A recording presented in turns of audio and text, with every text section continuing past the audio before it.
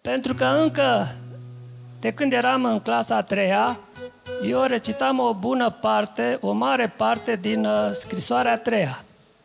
Aș putea să vorbesc două zile și două nopți Nu e despre, cazul. despre opera lui Eminescu A spus că ar putea. Hai să începem, nu? și uh, consecutiv recitând din poeziile sale.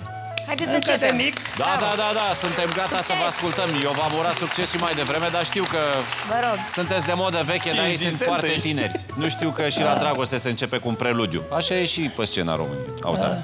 încă de mic m-am, uh, Înce- m-am a început? regăsit în poezia lui Nu, nu a Eminescu. început. Mamă. Aveți răbdare. Mamă. Deci m-am Poate n-ați regăsit înțeles. încă de mic în poezia lui Eminescu.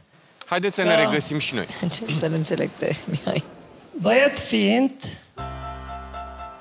păduri cu trei ram și uneori la, m- m- ă, lângă râu mă culcam și brațul drept sub cap îl așezam și ascultam cum apa curge încet. Uh, mai a trecut vreme, a venit data Centrala Braz.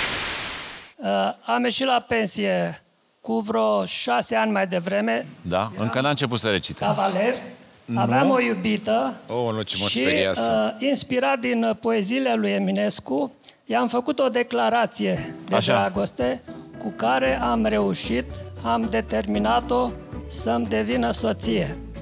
Și am zis Frumos. așa, Frumos, mă. de câte ori iubito mă Da? uit în ochii tăi, mi-aduc aminte ceasul când ne-am văzut întâi. Și tu zâmbeai cu un zâmbet ce e numai al tău. Și, și mi-a, dat și, de- mi-a dat și din urmă vreo 220 de milioane.